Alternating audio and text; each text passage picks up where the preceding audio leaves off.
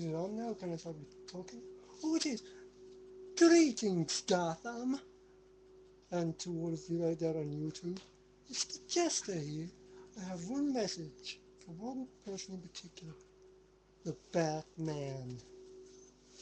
Now, we all know that we don't get along, him and me, but today I thought I'd say, Batman, don't try and come after me because I do have a few tricks up my sleeves.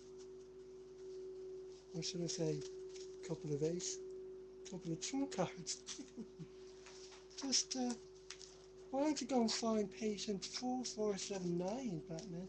I thought that's a better use of your time. And just, just remember, Batman, me and Harley Quinn, we don't want to be followed. Because if you do, I will blow up the church. Got that? Delicious. So, you follow us, the church goes boom. Got that? Good.